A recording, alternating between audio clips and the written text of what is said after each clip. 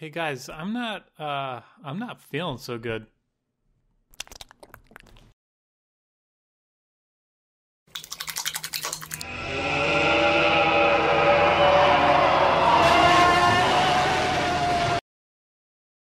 Do you want a free ice cream cone?